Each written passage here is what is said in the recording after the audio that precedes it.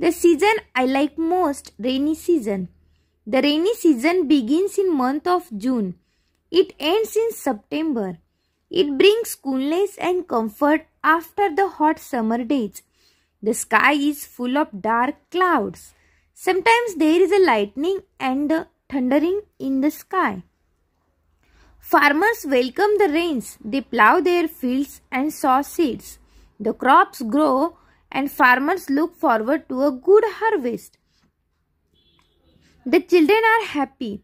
They sell paper boats in the streams. They splash water on one another. The rivers, ponds, and wells are full of water. It is green and beautiful everywhere.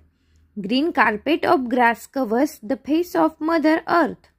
Sometimes we see the rainbow in the sky. Everything looks fresh and lively. Sometimes there is a heavy rain. It pours and pours.